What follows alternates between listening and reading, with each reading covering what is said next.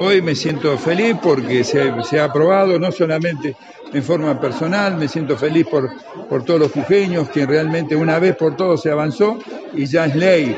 No es un proyecto que alguien presenta, hoy es ley. Hay que, hay que pensar en los, en los chicos, estos ruidos le hace mal, eh, hay que pensar también en los animales, también se esconden, también salen a la calle y se pierden, pierden su hogar y algunos son atropellados también, porque se vuelven locos. Pero bueno, gracias a Dios, con el acompañamiento de todos, vio que salió, ninguno se dijo que no, apoyaron todos. Eso me, eso me siento feliz porque es lo único que puede hacer uno que puede hacer lo que realmente se, eh, siente. Eh, a mí me encantó que hayan salido, pero por todos, no que hayan salido con un sector o con otro sector. Ha salido con todos los diputados.